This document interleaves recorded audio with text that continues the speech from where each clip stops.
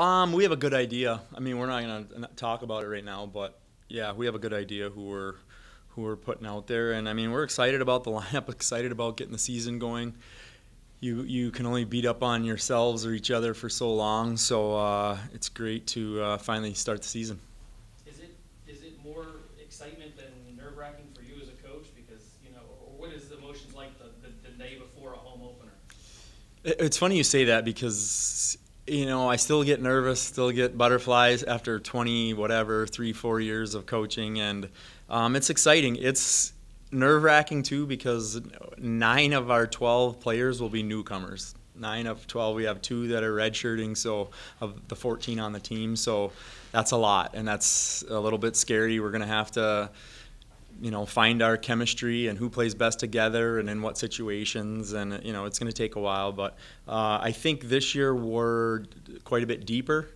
Um, last year we were pretty top heavy with the sarah cash and the, um, allison smolinski melinda trimmer. Those guys played a lot of minutes from their first year you know to their senior year. So um, it's going to be tough to replace them, but I think you know our improved depth will really help that out, and I'm excited to see uh, you know how, how that plays out. Does that does that help you as a coach to because last year, like Barry mentioned, the depth too.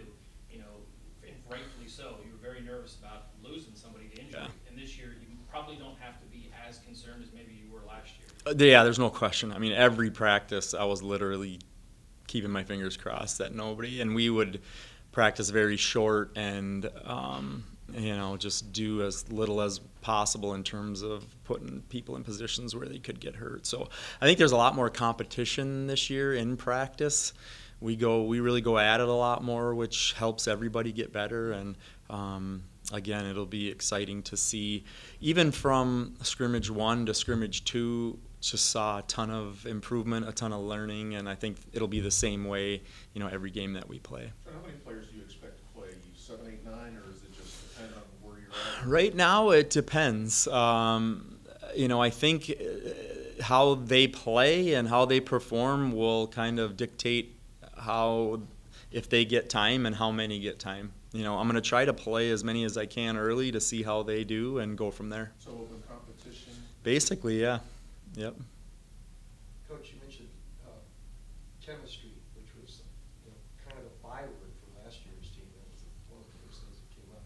Have you, There are a lot more players, it's a different dynamic, but have you seen the ingredients for, for hooking up a team chemistry? I, I think they all get along very well on and off the court. Um, it's been great with, uh, like you said, an added number of players. Uh, you know, I think they really care about each other. I think they, you know, work hard for each other, and you know that usually ends up, you know, with good things on the court. What, what do you hope to see tomorrow, John? Uh, we're really looking to get better each and every day, each and every game. So I just want to see improvement from you know our last scrimmage. You know, I thought I saw a good deal of uh, improvement from our first scrimmage to our second, and then I would just want to see the same thing from you know second scrimmage to game one and game one to game two and hopefully i mean we have a tough non-conference schedule it should prepare us well for conference season coach you you by score anyway you blew canisius out last year but both these teams are way different than they were a year ago. A lot of newcomers so how do you even prepare? What do you expect? Well you prepare by just trying to get your kids doing what you want them to do on both ends of the, the court. Uh, you know, I think last year was, uh, you know, their coach's first year. That's always tough. It's always a challenge. So he'll be more settled in. You know, the players will understand more of what he wants, and you know, he'll have some players that he's recruited and got in there. So um, you're right. It's a completely different game. I mean, Allison Smolinski had, you know, one of the best games of her, if not the best game of her career, making nine threes. So um, we're going to have to manufacture some points from some other players in some other areas, and hopefully we can uh, be stout defensively like we were last year.